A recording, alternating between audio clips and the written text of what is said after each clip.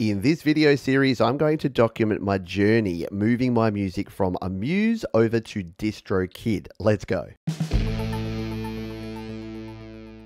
In this first video, I'll be removing some of the songs here on my Amuse account. Now, Amuse is a free online music distribution platform. It's actually very cool. There's absolutely nothing wrong with using it, but because I use DistroKid for the vast majority of my music distribution, there's a couple of songs on here that I would actually like to move across. The primary one being this, my song Goats. Now, originally I released this under the name Fearcut and using Amuse. My other artist names over on DistroKid are Pete Johns and Righty Doki. So I would actually like to move this over to DistroKid, and I'm still deciding whether I put it under Pete Johns or I bring the Fear Cut name over with me. But the first thing I need to do is actually get this song and one of my other songs here, uh, this one here, What You Deserve, removed from Amuse. So let's show you how to do that now. So one of the coolest things about Amuse is it has a really good mobile app that lets you do a lot of things, including releasing your music as well as removing your music. So that's what we're going to start with here. Let's start with Goats. This is the one that's the most important one.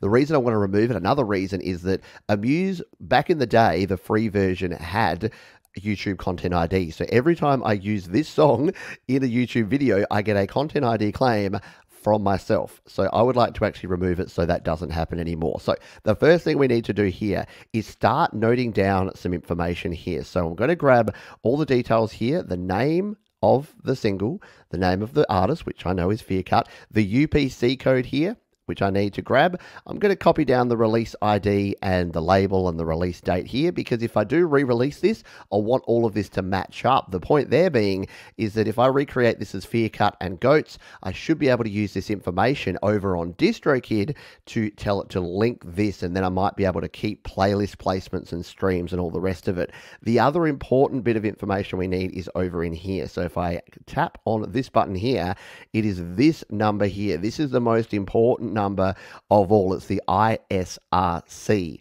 So this ISRC code is a universal code that's used by all platforms and all distributors to identify this song. So I'm going to grab all of this information and note this down first because once I remove this, yeah, you're not going to be able to access that information anymore. So get all this info down. That's what I'm going to do now. Take some screenshots, do whatever you need to do, and then we'll move on to the next step. So we'll go back to the main screen here just to show the whole process. We'll scroll on down, we'll tap on goats, and we'll scroll down again. This is the button we need to use, the take down release. So I'm going to hit the take down button, and it's going to drop us into this form. Now, this is where the process gets a little bit clunky because this is a Google Doc. This is a Google Doc form that we need to fill in to request that this song be taken down. So it's one of those things where the process to upload a song is super automated and super simple.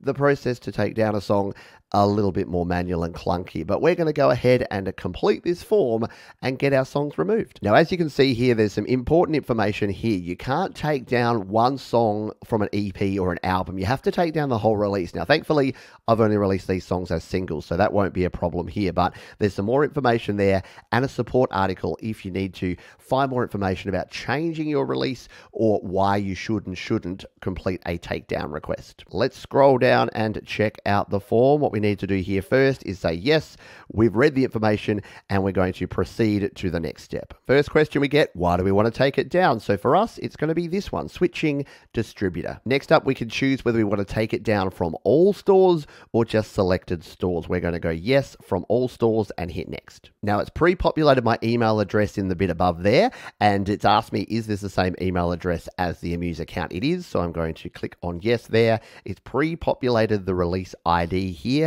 of the song that I'm in here. So I'm just going to do this for goats this time around, which I need to enter in here. So for whatever reason, it hasn't pre-populated those. So I've had to put the name of the release and my artist name there, which are required.